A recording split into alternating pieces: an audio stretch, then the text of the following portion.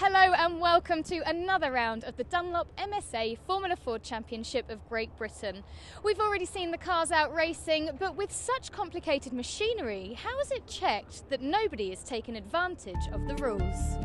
Nigel Jones is the chief scrutineer for the championship, and it's his job to make sure that the rules are followed and to check cars for any problems.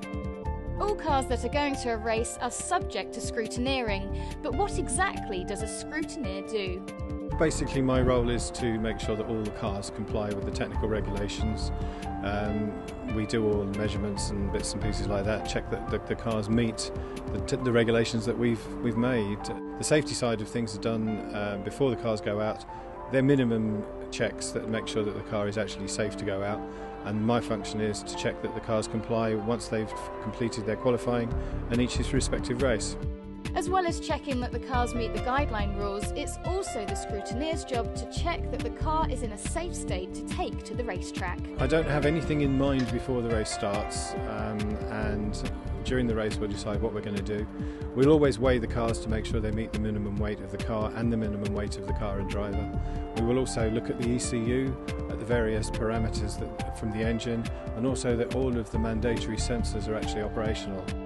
The telemetry from each car is also downloaded and analysed. We plug the laptop into the car uh, using the diagnostic connector and then we download all the data from the engine management system on the car which we can then look at afterwards A to check to see if there's no issues with the engine and B as part of the scrutineering role which I perform make sure they're not fiddling with any of the parameters they shouldn't be fiddling with and that way we try and keep the uh, competition as close as we can. For each lap I can see what the engine temperature is, how fast the engine's going, how much throttle the driver's applied, what the boost pressure is, what the oil temperature is, what the oil pressure is, battery voltage, just the various parameters associated with the engine management system and how it performs.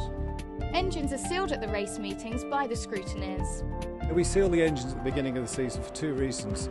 Uh, the first reason is to identify that that engine is in that car. Should the team wish to change the engine, we know that the one that they have removed, we, have a seal on it and we know that that can't be touched.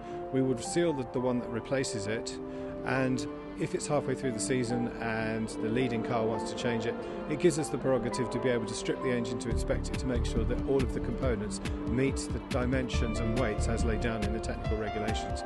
At the end of each race, the cars are weighed and fluid samples taken.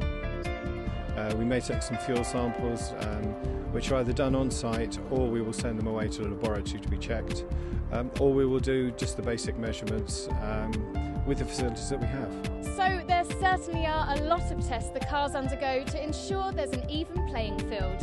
And with all the cars running to the same regulations, the Dunlop MSA Formula Ford Championship of Great Britain is one of the closest and most entertaining race series.